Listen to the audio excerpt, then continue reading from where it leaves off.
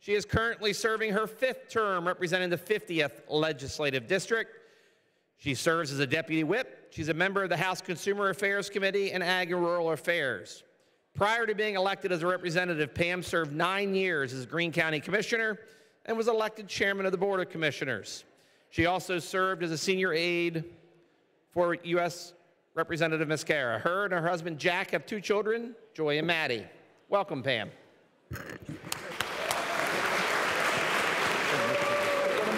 Thank you.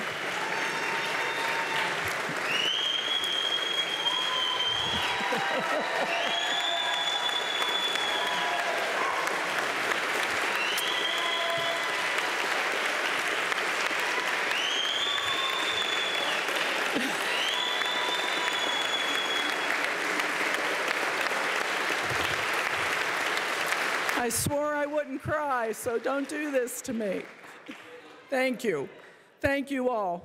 Speaker Cutler, Leader McClinton, Whip Harris, Chairman Bradford, Leader Benninghoff, colleagues, family, and friends. This is truly a bittersweet moment for me. I have to start by thanking my family who is here with me today. First, my husband Jack, who has always supported me through this journey, from campaigning to putting up signs to being home alone while I am here. He is my rock. I love you, Jack. I could never have done this without you, my husband, Jack.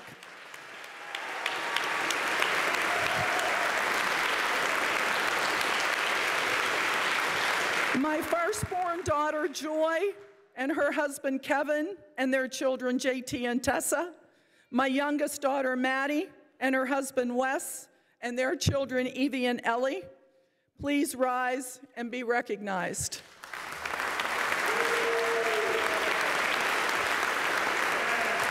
I have been in public service for 38 years, working on the federal, county, and state levels. I have ran in many campaigns for county commissioner, and for the House of Representatives. Without my family by my side every step of the way, I could never have accomplished what I have. I know how difficult it has been for my family to live through all of the hateful and nasty campaigns that were thrown at us. And for that, I want to thank them from the bottom of my heart and always being there for me. I love you all to the moon and back. We as elected officials are only as good as the staff we surround ourselves with. I want to thank Stephanie Bailey and Kristen Calvin, who have kept my Harrisburg office going for 10 years. I am so pleased also that my district staff could be here with me today, most but not all of them. They have made me look good every day, and the people they have served and helped over the years is truly remarkable. My district offices are one of the busiest in our caucus. So Nate Rigotti, Heidi Jamison, Amy Hopkins, Rachel Greenlee, and Ashley McCombs and Cole Leathers, please stand and be recognized and know that I love each and every one of you.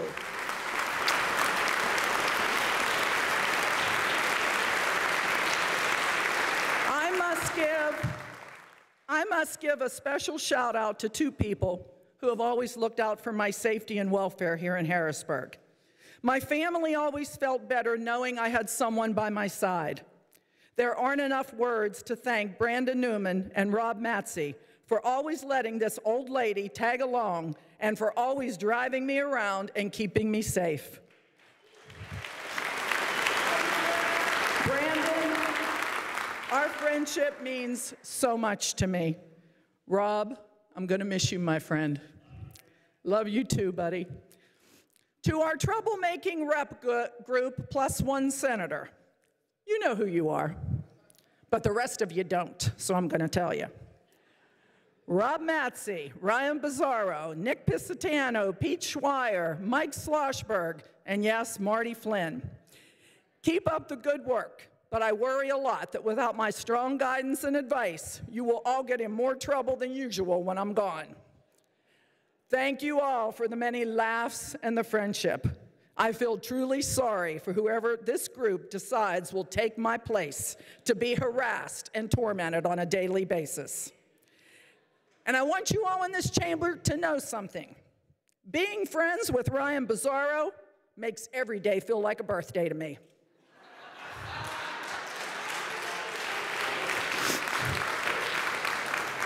to Mike Carroll, Jerry Mullery, and Mark Longietti, I wish you all the best of luck wherever the next chapter takes you in your lives. And to my gal pals, Erin Molchany, Tina Davis, Leanne Krueger, Jen O'Mara, Joanna McClinton, Bridget Kosierowski, Jeannie McNeill, Anita Kulik, and to each and every woman here in this chamber, keep up the good work. It has taken a long time for women to make their way in this country, and we need to keep that movement going strong.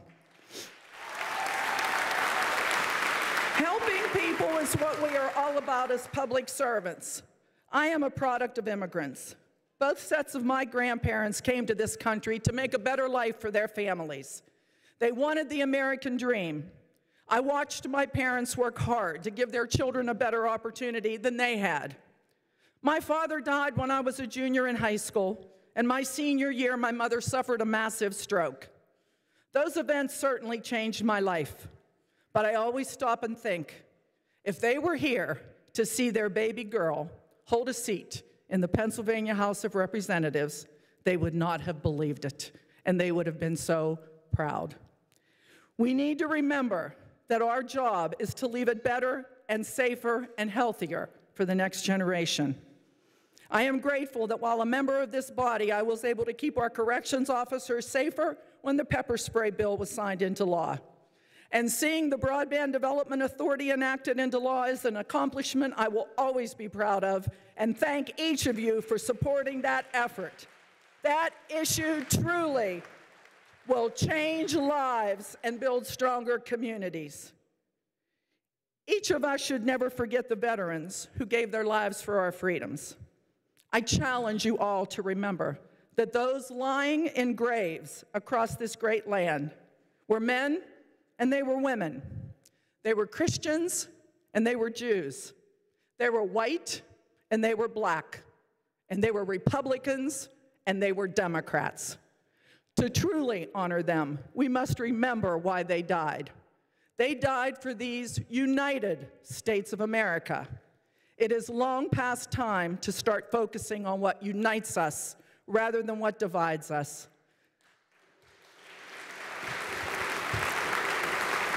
I ask each of you to remember that compromise is not a dirty word. It is how our country was created, and it is the only way it can truly prosper. Last but certainly not least, I want to thank the people of the 50th District who placed their trust in me to be their voice here for a decade. It was a true honor for me to serve them. Thank you all for your friendship, and I wish you all the very best of true governance. God bless all of you, this Commonwealth, and this United States of America. Thank you.